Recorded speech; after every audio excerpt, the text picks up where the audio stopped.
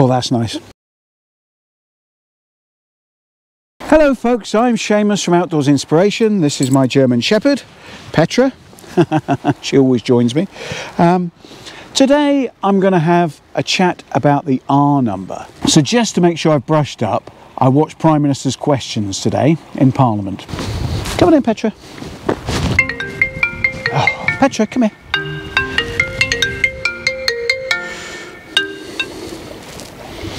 Hello, Shamus. Not the R number. What are we on about R value? Ah, okay.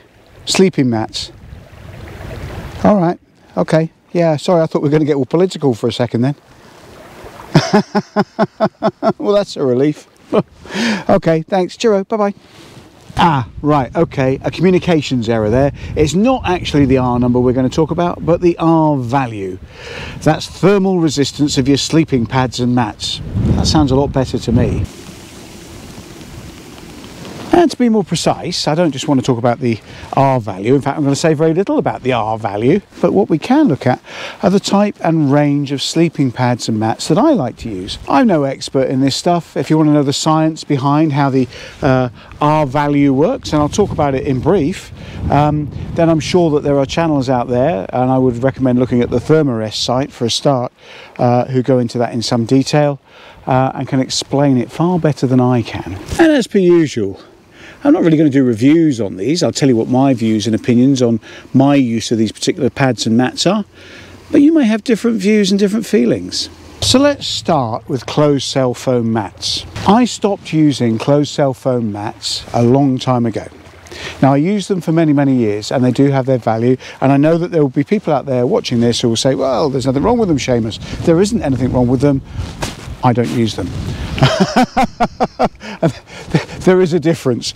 Um, but they have a limited R value, that is to say, they have limited thermal uh, resistance and limited comfort for me, and they take up more space than some of the other mats that I use. So they're more bulky, don't have the same thermal insulating properties as the mats that I use, but they are or can be lighter. Typically with a closed cell foam mat, a good one, you may end up with a, uh, a thermal insulation R value of about 2, uh, which is for summer use. Uh, now I know that there will be people out there that use closed cell foam mattresses uh, all year round and they'll swear by them in the snow etc etc. Good on you. but they're not for me. Now, somewhere where we did use uh, closed cell foam mats quite a lot was in the Antarctic, not in isolation and not on their own. So, what we used them for was an insulating layer between the floor, the glacier, and our lilo. And I mean a lilo. Yeah. So, so the way that our sleep system worked back then was that we would have a, a, a CCF mat on the floor and that would insulate a thick rubberized lilo. And it, we're talking about the type of thing the blue thing with the blue on one side red on the other with big bungs in it. So the idea of the ccf mat there was to try and insulate the air in the lilo from the floor. And on top of that we would then lay a full length sheepskin. And on top of that we would then have an expedition bag. And those bags were extremely heavyweight down bags no zips or anything like that on them because that just leaves somebody an opportunity to leave themselves unzipped and we would have a thick pile liner and by thick pile I mean like buffalo style liner to go inside that bag and an outer bag that covered the whole lot um, to ensure that your sleeping bag was protected from cooking and eating and daily chores. So bearing in mind that some of the field parties may be out for you know a month or longer, six weeks, um, and even winter trips were sort of 10 days, you needed to have a reasonably comfortable night's sleep. So why is the R value of importance to us? Well, it's key really to having a warm night's sleep. We can lose a lot of our heat through the ground, and the R value tells us how insulating effectively our sleep system is against the ground. Since 2020, the R value has been consistently measured against the standard, the ASTM standard, and that's measuring against a controlled set of parameters. In a controlled temperature environment, a mat is placed on top of a sensor. It has heat radiated through it, and the amount of radiated heat that can be felt on the sensor underneath is an indication of how much it's allowing your body temperature to go through that mat. If a product doesn't have an R number, ask the manufacturer, ask the retailer. So an R number of less than 2 is usually an indication that a mat is suitable for summer use. Somewhere over 2 into 3 and possibly into the low 4 we're looking at autumn and spring use. And 5 we're looking at four season use and 6 is for extremely cold weather. Those are what those indications and values mean. Now, there will be variance in those bands. That's why I'm being very vague about it. And it's going to depend on you, how you like to sleep, whether you're a hot sleeper, warm sleeper, cold sleeper, and the other components of your sleep system as well. So both of these mats are made by Thermarest. They are self-inflating mats, but I tend to help them up with a bit of breath. Now people always used to say, don't blow them up because it affects them, etc, etc. It's just got to be the, the natural uh, the natural air pressure that inflates them. I've never managed to get them to inflate by natural air pressure. And if you look on the Thermarest website, they say that no harm can be done by inflating any of their mats. So I'm going to go with Thermarest. They make the thing. So I always top them up with a little bit of air. The shorter of the two mats is a ProLite 3 Shorty, so that's about three quarters length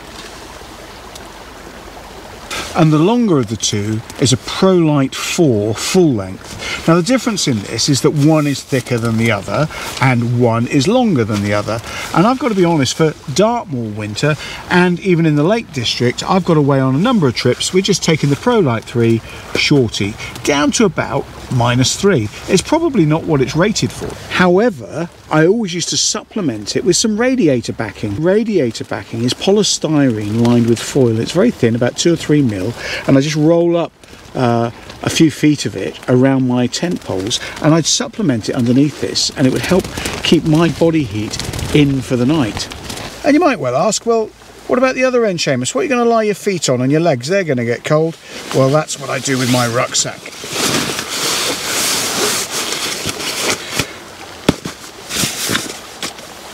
So the main part of me that I want to keep warm, the torso, is covered by the mat, supplemented with some radiator foil backing for winter underneath, and my legs would lie on top of the rucksack. It actually is surprisingly comfortable, and I've had some really good night sleeps like that.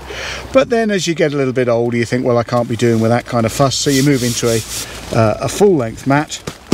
These ProLites by the way, are now the ProLite and the ProLite Plus, not the 3 and the 4. These are quite old, as am I.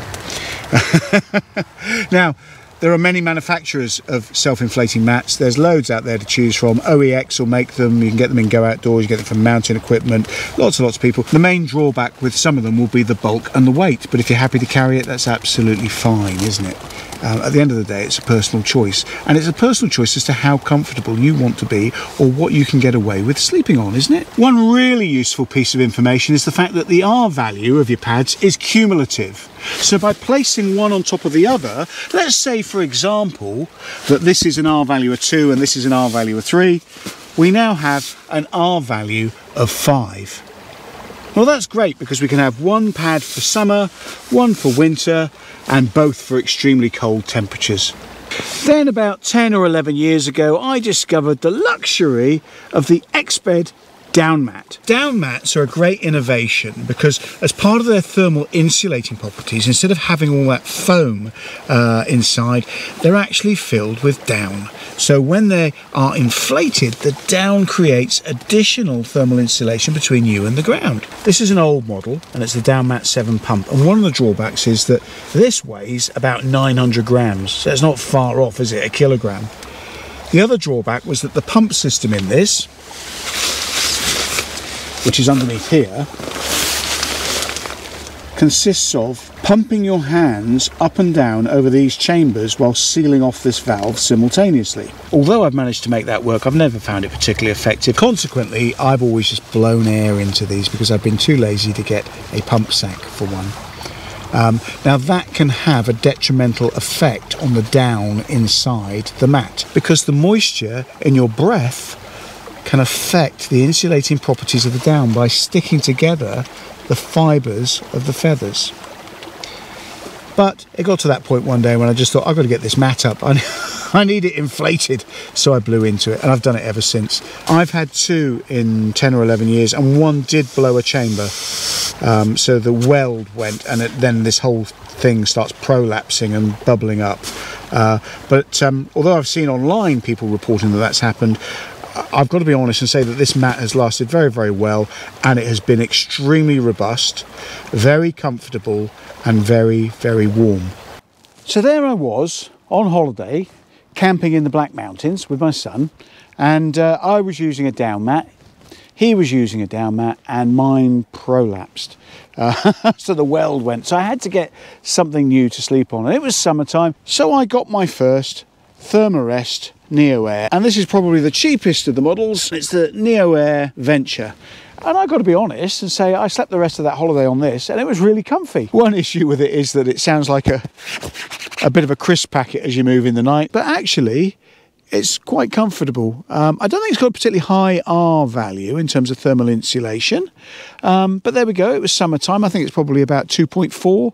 But couple this with another mat, say a closed cell foam mat, a good quality one, then we're going to get some really good winter performance out of that.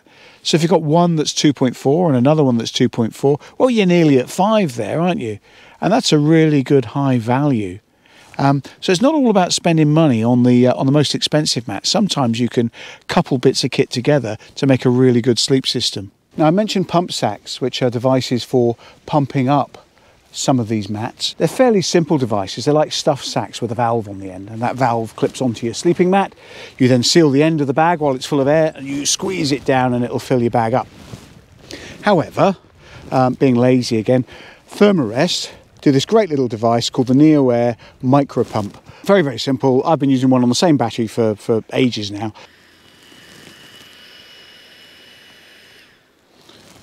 There's an inflation side and a deflation side, obviously one for blowing the mat up and one for sucking air out of the mat. I've never had to use the deflation because this is intended to oops this is intended to work only with the wing lock valve system, which is a modern system on Thermarest mats. This won't work on any other mat. There are other pumps available for other mats, not this one. Uh, however, when you unlock the wing lock system, air just gushes out of the mat when you want to let it down. It's absolutely beautiful. So I've never felt the necessity to deflate with a pump. Now I've mentioned the wing lock system and the modern Thermarest mats. So let's have a look at a couple of them. So these are Thermarest NeoAir Xtherm mats.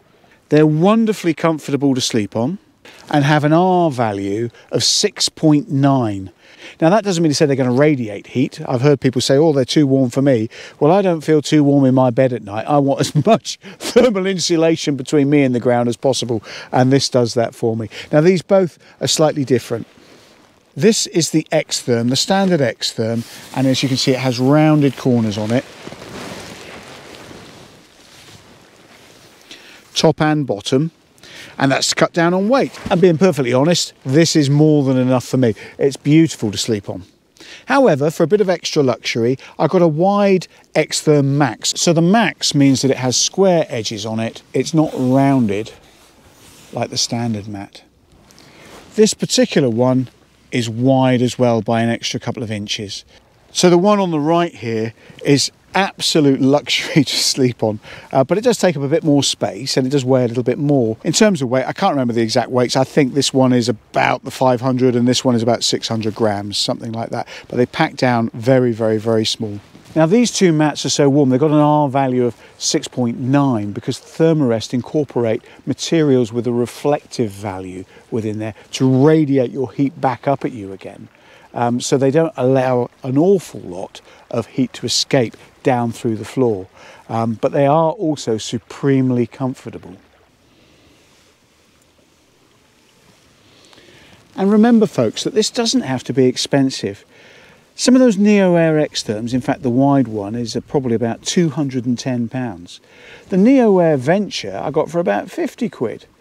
Uh, the ProLites, I think I bought those used second hand for about 30, 40 quid. So there's a whole range of products available to suit a whole range of budgets.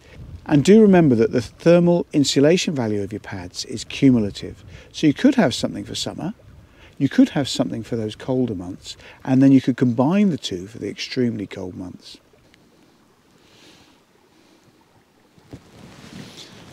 Now, I'm not going to stop and calculate the cumulative value of all these pads together, but what I do know, one thing for sure, I'm going to have a very warm and comfortable night's sleep.